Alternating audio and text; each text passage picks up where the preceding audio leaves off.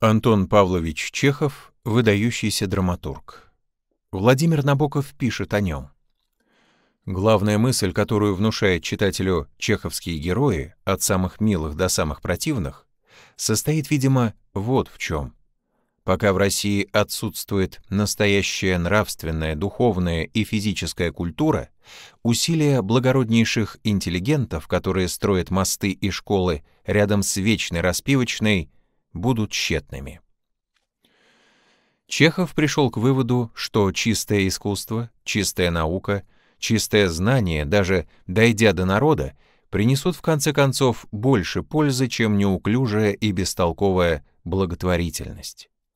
Между прочим, сам Чехов был типичным чеховским интеллигентом. Герои Антона Павловича погружены в туман романтических грез о лучшей жизни, но не готовы победительству той среды, в которой живут. В обществе того времени бурное выражение эмоций не приветствуется. Истинные чувства и сильные душевные переживания спрятаны за простыми фразами. Чехов описывает Россию XIX столетия, где преобладают патриархальные представления, вполне нормальными считаются браки без любви, по договоренности родителей или другим бытовым причинам. Многие от этого страдают, но вырваться из оков семьи удается лишь самым смелым и решительным. Писатель поднимает тему отношений в рассказе «Дама с собачкой». Главные герои Дмитрий Гуров и Анна Сергеевна несчастны в семейной жизни.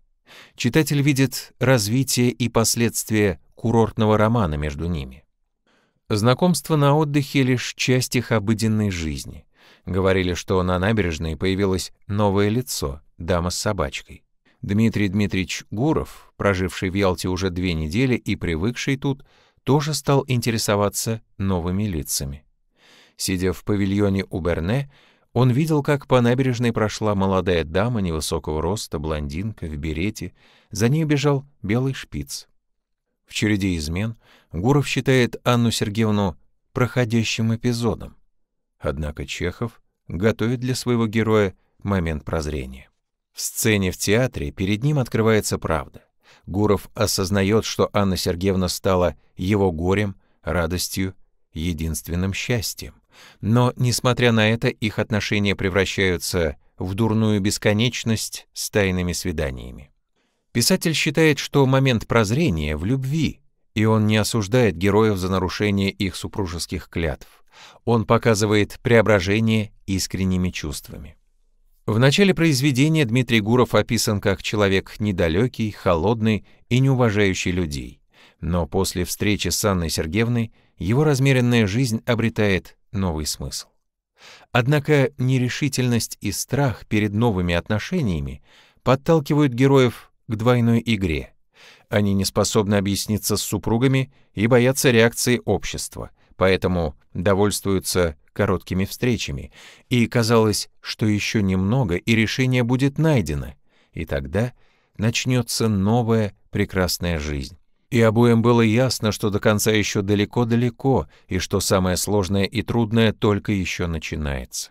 Особый колорит в произведениях Чехова создают художественные детали. Владимир Набоков считает, в любом описании деталь подобрана так, чтобы залить светом все действие. В рассказе «Дама с собачкой» символом угнетающего мира, из которого старается убежать Анна Сергеевна, становится ларнетка — Перед встречей с Гуровым в Ялте она даже случайно теряет этот аксессуар. Но после возвращения к привычной жизни мы видим ее в театре с вульгарной ларнеткой. Чехов создает для героев особый художественный мир, который меняется в зависимости от обстоятельств и эмоций. Первая часть полна романтичных пейзажей и ярких цветов, а во второй появляется все больше серых оттенков. Общую картину унылой атмосферы обывательской жизни дополняют звуки. Также писатель подчеркивает приземленные интересы Гурова и, напротив, духовные стремления Анны Сергеевны. Развитие сюжета в композиции рассказа «Дама с собачкой» имеет второстепенное значение. На первый план здесь выходят душевные поиски персонажей. Влюбленность указывает человеку, каким он должен быть, пишет Чехов. Мировоззрение главного героя Гурова стремительно меняется на фоне сильных чувств к Анне Сергеевне. В результате он приходит к внутреннему перерождению. Однако для счастья этого недостаточно.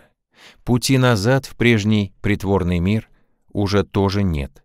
Но Чехов оставляет надежду на продолжение истории.